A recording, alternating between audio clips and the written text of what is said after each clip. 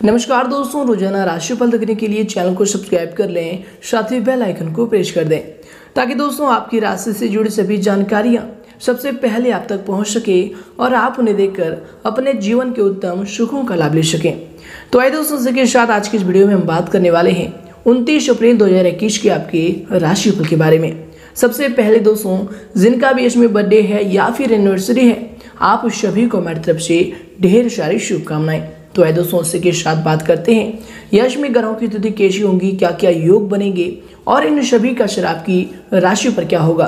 किन किन चीज़ों को लेकर यश में आपको सावधान रहना होगा? और कौन कौन से कार्य आखिर आपके लिए भाग्यशाली होंगे? यश में आपका लव लाइफ स्वास्थ्य करियर और धन की स्थिति कैसी रहेगी? साथ ही दोस्तों, वीडियो के मध्य में आप सभी के लिए बहुत ही अच्छे विचार दिए गए हैं। जिन्हें आप ज़रूर देखिएगा, आपको काफ़ी अच्छा लगेगा। तो आइए दोस्तों, अब बात करते हैं। दोस्तों, इस दिन गुरुवार का दिन रहेगा। कृष्ण पक्ष की तृतीय तिथि रहेगी और अनुराधा नाम का दिन नक्षत्र रहेगा। दोस्तों, योग की बात करें तो इस दिन वरियान नाम का योग सुबह के ग्यारह बजकर अड़तालीस मिनट रहेगा। उसके उपरांत दिन परिग नाम का शुभ योग प्रारंभ हो जाएगा। राहु काल के समय की बात करें, अर्थात अशुभ समय की, यश में आप कोई भी महत्वपूर्ण कार्य को ना करें। तो दोस्तों, यह समय रहेगा दोपहर की दो बजे से लेकर शाम के तीन बजकर सैंतीस मिनट तक और चंद्रमा दिन वृक्ष राशि पर संचार करेगा। दूसरों को उतना ही जल्दी क्षमा करें, जितना जल्द आप भगवान से क्षमा चाहते हैं। किसी के दिल को ठेस पहुंचाकर माफ़ी मांगना बहुत ही आसान है, लेकिन चोट खाकर किसी को माफ़ करना बहुत ही मुश्किल है। दोस्तों, आत्मीयता को जीवित रखने का सबसे अच्छा तरीका यह है कि गलतियों को हम उदारता से क्षमा करना सीखें। दोस्तों, प्यार के बिना माफ़ी नहीं है, और माफ़ी के बिना प्यार नहीं है। क्षमा वीरों का गुण होता है। दोस्तों, यदि कोई दुर्बल मानव तुम्हारा अपमान करे तो उसे क्षमा कर दो, क्योंकि क्षमा करना ही वीरों का काम है। परंतु यदि अपमान करने वाला बलवान हो तो उसको अवश्य दंड दो। क्षमा का मतलब है कि जो बीत गया, उसे जाने दो। दोस्तों, कमज़ोर व्यक्ति कभी क्षमा नहीं कर सकता। क्षमा करना शक्तिशाली व्यक्ति का गुण है। जब आप माफ़ करते हैं, तब आप भूत को नहीं बदलते, लेकिन आप निश्चित रूप से भविष्य को बदल देते हैं। अपने दुश्मनों को क्षमा कर दीजिए, पर कभी उनके नाम मत भूलिए। दोस्तों, क्षमा एक ऐसा उपहार है जो हम स्वयं को देते हैं। क्षमा प्रेम का अंतिम रूप है। तो चलिए इसी के साथ बात करते हैं आज की राशिफल की। दैनिक राशिफल। दोस्तों, कुछ समय से अस्त व्यस्त हुई चीज़ें, यश में पुनः व्यवस्थित होना शुरू हो जाएँगी। व्यवस्था के बावजूद भी अपने परिवार और अपने संबंधियों के साथ कुछ समय ज़रूर व्यतीत करें। इससे आप अपने आप को थोड़ा मुक्त और ऊर्जावान महसूस करेंगे। युवाओं को भी महत्वपूर्ण उपलब्धियाँ मिलने के योग बन रहे हैं। और इसके उपरांत दोस्तों यश में अगर आपकी सावधानी को लेकर बात करें तो दोस्तों, ध्यान रखें कि विरोधी लोग यश में जलन की भावना से आपकी बदनामी और फिर आप पर झूठा आरोप लगाने जैसी हरकत भी कर सकता है। समस्या को दोस्तों, यश में आपको गुस्से के बजाय शांतिपूर्ण तरीके से हल करने का प्रयास करना चाहिए। ये आपकी समझदारी होगी। और दोस्तों, किसी भी प्रकार की यात्रा यश में ना ही करें तो आपके लिए समय अच्छा रहने वाली है। इसके उपरांत दोस्तों यह समय आपके लिए समय होंगे। आपको बता दें कि यह समय आप अधिक सकारात्मक या फिर अधिक नकारात्मक भी हो सकती है। इसलिए दोस्तों, परिस्थिति को जैसा है, वैसे ही देखने की कोशिश करें। अपनी भावनाओं को दूर रखकर प्रैक्टिकल रहने की आपको इसमें आवश्यकता होगी। करीबी व्यक्ति के खिलाफ आपको किसी व्यक्ति द्वारा भड़काया भी जा सकता है। तो दोस्तों, इन व्यक्तियों पर बिल्कुल विश्वास न करें और किसी से लड़ाई झगड़े करते, करने से इसमें आप सावधान रहें। ये आपके लिए बेहतर होंगे। और इसके उपरांत दोस्तों, इसमें आपके लिए समय होंगे। आपको बता दें कि किसी भी निर्णय को लेने में दिल की अपेक्षा आपको अपनी अंदर आत्मा का आवाज़ सुनना चाहिए।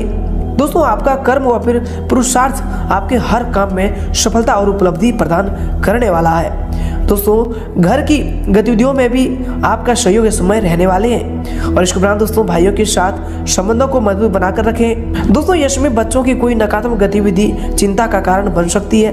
कुछ समय उनके साथ भी व्यतीत करें। ये आपके लिए इसमें बेहतर होंगे। और इसके उपरांत दोस्तों, यश में आपके लिए समय होंगे। दोस्तों, आपके ऊपर अपयश हावी हो सकता है, जिसकी वजह से सकारात्मक हो रही घटनाओं में भी कुछ न कुछ जो है नकारात्मक बातें आप ढूंढ लेंगे।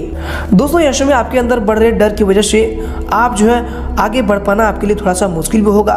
मानसिक स्थिरता प्राप्त करने के लिए हनुमान चालीसा का पाठ करना यश में आपके लिए लाभदायक रहने वाले हैं। और इसके उपरांत दोस्तों यश में आपके लिए समय होंगे, आपके दिनचर्या के लिए जो समय होंगे।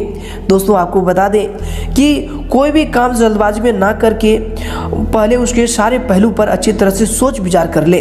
क्योंकि दोस्तों, समय को अनुकूल बनाने के लिए कुछ मेहनत करनी पड़ेगी। विद्यार्थियों को भी प्रतिस्पर्धा संबंधी कार्यों में सफलता मिलेगी। आपके आत्मविश्वास तथा कार्य क्षमता भी यश में निखरने वाले हैं। लेकिन दोस्तों, यश में आप घर के बड़े बुज़ुर्गों व फिर वरिष्ठ व्यक्तियों का उचित सम्मान करें और उनका आशीर्वाद व फिर सलाह आपके लिए यश में वरदान रहने वाले हैं। अचानक ही किसी खर्च के सामने आने से आर्थिक स्थिति भी थोड़ा बिगड़ सकती है। दोस्तों इसमें चचेरे भाइयों के साथ संबंधों में थोड़ा सा खटाव आ सकता है। तो दोस्तों, इनसे आप बचने की कोशिश करें। ये आपके लिए बेहतर रहने वाले हैं। और इसके उपरांत दोस्तों इसमें मानसिक रूप से आप अधिक गंभीर और स्वस्थ महसूस भी करेंगे।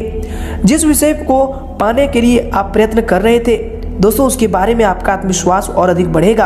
दोस्तों, आपको बता दें कि यश में आपके अंदर एक ही खूबी रहेगी कि जिस भी बात को आप ठान लेंगे, उन्हें पूरा करने में आप सफलता भी प्राप्त करेंगे। और इसके उपरांत दोस्तों इसमें आपके लिए समय होंगे। आपको बता दें, बागवानी तथा प्रकृति के समीप रहकर व्यतीत करें। इसे दोस्तों, आपको मानसिक सुकून की प्राप्ति होगी।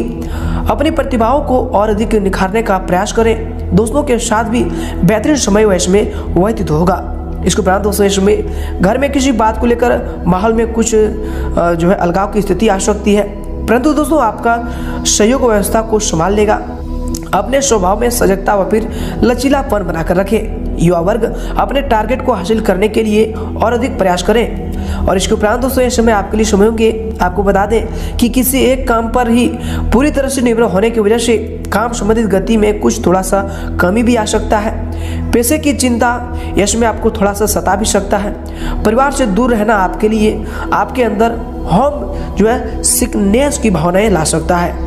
दोस्तों, ये जो आपके लिए समय होंगे, आपको बता दें कि पुराने मित्रों के साथ बदलते हुए रिश्ते को देखकर आपको दुखी भी होना पड़ सकता है। दोस्तों, ये समय बिगड़े हुए संबंधों को अधिक प्रयत्न करके ठीक करने की कोशिश ना करें। ये आपके लिए बेहतर होंगे।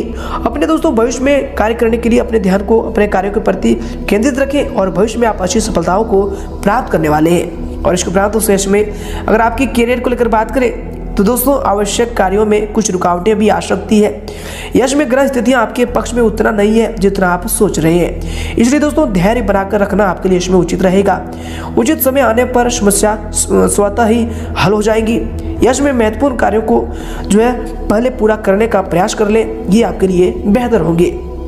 और इसके उपरांत दोस्तों इसमें आपके करियर के लिए जो समय होंगे दोस्तों, आपको बताते हैं कि जल्दी व फिर ज़्यादा मुनाफा कमाने के चक्कर में किसी प्रकार के अनैतिक कार्य में रुचि ना लें।